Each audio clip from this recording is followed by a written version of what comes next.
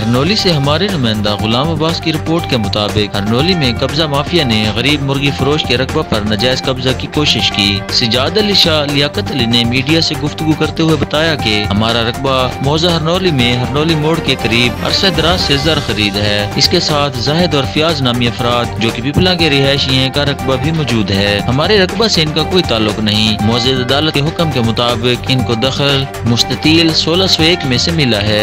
ये हमारे रकबा मुस्ततील नंबर सोलह सौ दो पर नजायज कब्जा करना चाहते हैं। दोनों अफराद को सियासी पुष्पनाई भी हासिल है, जिसकी वजह से गुंडागर्दी से ये हमारे रकबा पर कब्जा करना चाहते हैं। उन्होंने ए सी पिपला, डिप्टी कमिश्नर मियाँ वाली, कमिश्नर सरगोदा और वज़ीर अला पंजाब से इंसाफ के असूल का मुतालबा किया है।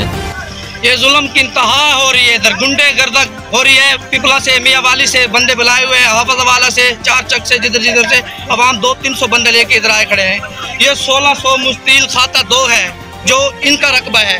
वो सोलह सौ एक खाता है जो उधर है रकबा पर उसमें दखल नहीं देते एक दो सौ एक सोलह सौ दो में देते हैं दखल।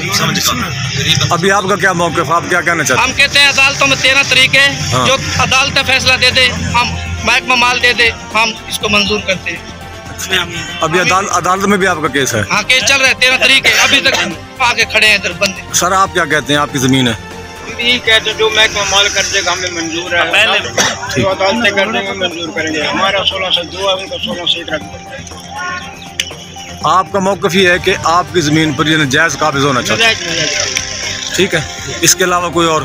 कानून की बालादस्ती होनी चाहिए भाई। होना चाहिए बस। जी भाई। हमारा तो यही फैसला है ये पुलिस आई खड़ी है मौके पे ये 200 300 बंदा गुंडागर्दी कर रहे हैं। गरीब बंदे हैं इनका साथ दिया जाए गवर्नमेंट को अपील करते हैं। जो इनको हक दबाए आप वज़ीर अला पंजाब को क्या वज़ीर अला पंजाब को भी यही हमारी वो है अपील कि इनको खुदारा खुदारा इनको जगह दें जो गरीब हैं। इंसाफ दिया जाए।